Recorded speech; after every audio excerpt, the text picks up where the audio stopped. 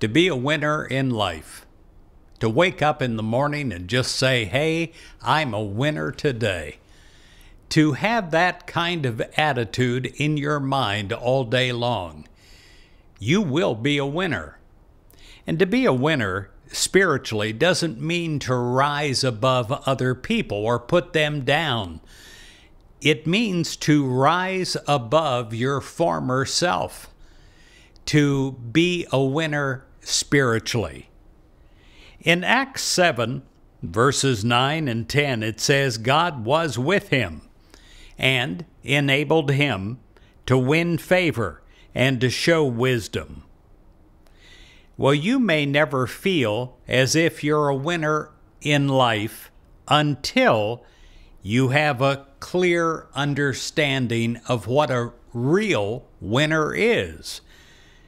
You're always a winner when you let your spiritual nature come forward so that you triumph over negative thoughts, negative habits, negative actions. The role model of a winner is not somebody who's in competition with other people. So you are not into establishing that you're smarter or better than anyone else.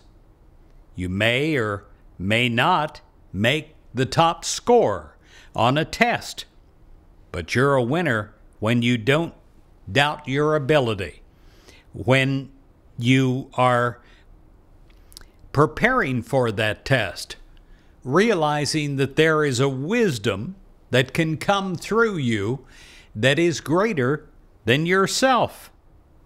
You're always a winner when you do your best.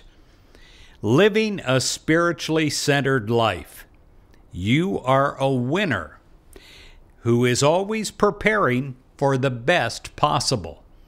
I pray that you're a winner this week. I pray that you have a marvelous week, living a spiritually centered life and doing your best.